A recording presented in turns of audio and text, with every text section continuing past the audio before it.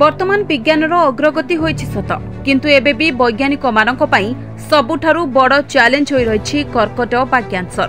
ବୈଜ୍ଞାନିକମାନେ ଅନେକ ଦଶନ୍ଧି ଧରି କ୍ୟାନ୍ସରକୁ ପରାସ୍ତ କରିବା ପାଇଁ ଚେଷ୍ଟା କରି ଆସୁଥିଲେ ମଧ୍ୟ ଏପର୍ଯ୍ୟନ୍ତ କର୍କଟ ପାଇଁ ଟିକା ବାହାର କରିବାରେ ସଫଳ ହୋଇନାହାନ୍ତି।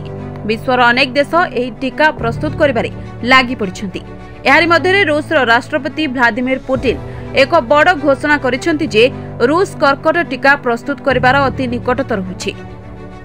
ସେ କହିଛନ୍ତି ଯେ ରୁଷର ବୈଜ୍ଞାନିକମାନେ କର୍କଟ ଟିକା ପ୍ରସ୍ତୁତ କରିବାକୁ ଅତି ନିକଟତର ହୋଇଛନ୍ତି ଏବଂ ଯଦି ସବୁକିଛି ଠିକ୍ ହୁଏ ତେବେ ଏହା ଖୁବ୍ ଶୀଘ୍ର ରୋଗୀଙ୍କ ପାଇଁ ଉପଲବ୍ଧ ହେବ।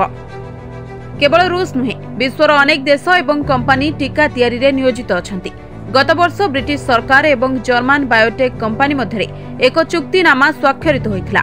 ଏହା ଅଧୀନରେ ଏହାର କ୍ଲିନିକାଲ ପରୀକ୍ଷା ଆରମ୍ଭ ହେଉଛି ସମ୍ପ୍ରତି ଏହାର ତୃତୀୟ ପରୀକ୍ଷା ଆରମ୍ଭ ହୋଇଛି। କମ୍ପାନୀ କହିଛି ଯେ ଦୁଇ ହଜାର ତିରିଶ ସୁଦ୍ଧା ଦଶ ହଜାର ରୋଗୀଙ୍କ ଉପରେ କର୍କଟ ଟିକା ପରୀକ୍ଷା କରିବାକୁ କମ୍ପାନୀ ଲକ୍ଷ୍ୟ ଧାର୍ଯ୍ୟ କରିଛି। Bureau report NNS Odia.